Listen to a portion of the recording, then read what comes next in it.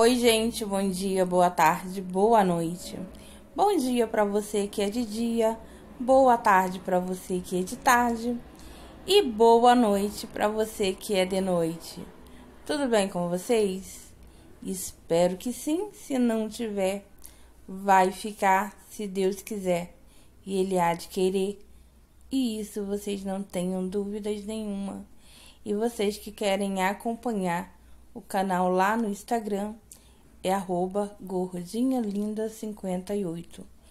Então, gente, vamos aqui às nossas resenhas sem muitas delongas, né?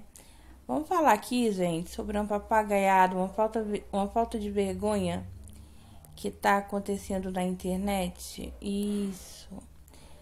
Vamos falar sobre a Dani Lima, né? Aquela que é desesperada por visualizações que até uma viagem, né, que até a mudança para Bahia, ela fez não por gosto, mas sim porque queria ter visualizações, né, já que o canal ela tinha passado muito tempo sem postar nada no canal e as visualizações estavam baixíssimas.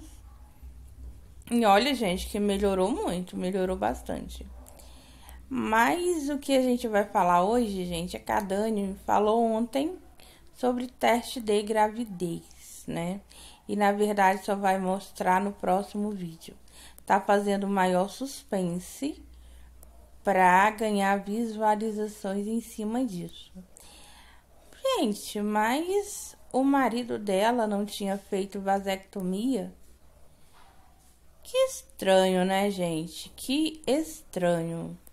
Tinha feito vasectomia, mas segundo ela, ele não voltou para fazer os exames, né? Para fazer o último exame, porque parece, gente, que depois de seis meses tem que fazer outro exame para saber quanto por cento, né, que a pessoa tá infértil. Então, o que, que vocês acham disso, gente? O que eu acho é que ela tá fazendo maior papagaiada para poder ganhar visualizações, até mesmo em cima de mentira. E eu não acredito, gente, que ele não tenha voltado para fazer o teste. Dizendo ela que vai voltar, vai dar o resultado do teste no próximo vídeo. E as pessoas lá ficam dando audiência, gente. Mulher e homem preguiçoso, porque a Dani é uma pessoa que não cuida nem dos dois filhos que tem direito. Vai cuidar de três? Me poupe, se poupe, nos poupe. O marido é um gigolô, né? O cara não faz nada, gente. Só dentro de casa, que ajuda. Mas ele, ele tinha um salão, gente, não sei, barbearia, desculpa. E ela tirou o homem do trabalho para poder viver debaixo da saia dela. Pra que isso, né, gente? Pra que isso? E uma mulher como a Dani, gente, uma criatura que não se cuida, não, gente, é extremamente mal cuidada. Ela tem vinte e poucos anos, 27, se eu não me engano. Me corrijam se eu estiver errada, que eu não fico com raiva, gente. Então, e parece ter, não digo nem 40, né, gente? Porque 40 vou fazer eu. E eu aposto que tem muitas das meninas aqui que é bem mais velha do que a Dani e são bem mais cuidadas do que ela. Gente, pensa numa mulher que parece ter 50 anos. Nossa, gente. É, é complicado essas coisas, né? É complicado. Vocês lembram que teve uma escrita que postou nos comentários dos nossos vídeos que o marido dela tinha uma filha com outra, né? Que ele tinha tido na época de adolescente. E a Dani não permitia que ele visse a filha. Vocês lembram disso, gente? Que a menina, desde criança, que era louca para ter contato com ele e a Dani nunca permitiu? Desde criança não, né, gente? Desde adolescente. Eu não sei que idade ela tem agora. Só sei que essa pessoa não deu tantas informações assim. E eu fiz até um vídeo falando sobre isso, sobre os comentários. Como eu falei, ninguém me disse Ninguém entrou em contato comigo no privado, apenas achei interessante o comentário da escrita, né? Aí a Dani veio nos stories, fez a maior coisa, gente. Aí o que que aconteceu? Abafaram o caso, né? Mas se ela se sentiu tão dolorida, gente, esse caso aí tem, tem 60 ou 70% de chance de ser verdade, né? Essa história da filha fora do casamento. Mas depois disso ninguém soube mais de nada. E aí, gente? O que, que vocês acham dessa mentirada da Dani Lima? Vocês acham que é por visualizações?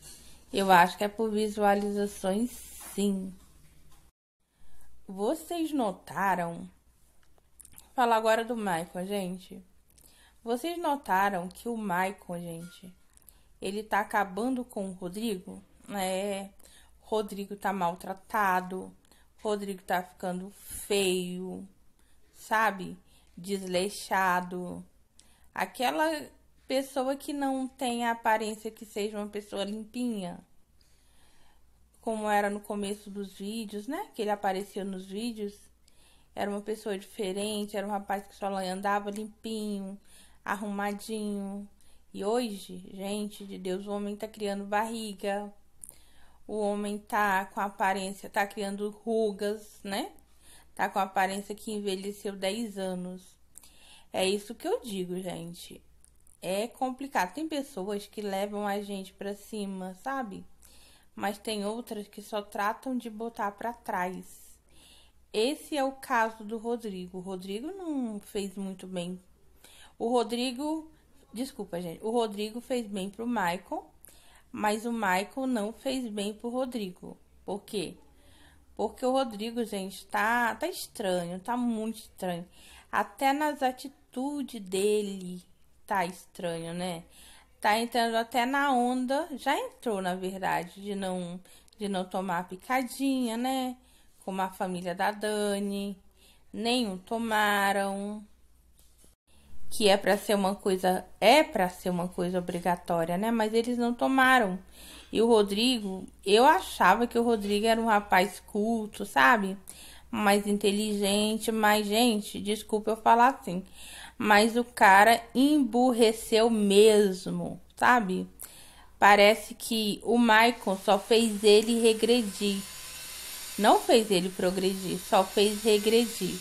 E essa história, essa mentira do Michael falar que o Rodrigo tá trabalhando no posto, gente, isso é mentira, isso é conversa pra boi dormir, trabalhando nada, gente. Toda hora tá lá dentro de casa. Pra que mentir? Mas o Mike é mentiroso nato, né?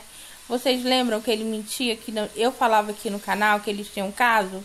Eles falavam que não tinham caso, que eram só amigos. Tá aí, ó. Tudo que eu falei, gente, aconteceu. E vocês lembram que eu também falei que a Dani ia inventar de fazer teste de gravidez? Para ter visualizações? Pois é, gente. Tudo que eu falo, não sou a dona da verdade e nem quero ser, mas tudo que eu falo, gente, mais cedo ou mais tarde, vem à tona. Isso é notório. Muita gente tem raiva de mim, por quê? Porque eles sabem que tudo que a gordinha fala é batata, né? Pois é isso, gente. A Dani Lima tá fazendo os, os inscritos de palhaço. Palhaço, quem acredita. Palhaço é ela, né, gente? Ela acha que todo mundo acredita nessas mentiras dela. Os adoradores. Ah, os adoradores, sim. Ah, gente, deixa eu falar uma coisa. Uma, a primeira resenha que eu fiz da Dani, ela veio aqui, gente. Ela me, ela me desejou que eu tivesse até câncer. Vocês acreditam nisso? Mas sangue de Jesus tem poder, sabe? E muito poder. Aí o que que eu disse? Sangue de Jesus tem poder. Nessa época as meninas disseram um monte de coisa como ela, né? Nos comentários. Aí depois de muito tempo ela veio falar comigo, achei até educada, sabe? até educada, porque as poucas youtubers que foram educadas comigo foi a Dani, foi outras, mas que ela desejou, gente, desejou mal para mim, desejou mal para nossas inscritas, mas tá repreendido, né, gente? Pois é isso, gente. Beijão, fiquem com Deus e até o próximo vídeo, tá? Papai do céu abençoe a cada um de nós grandemente, com tudo de bom na nossa vida que a gente merece.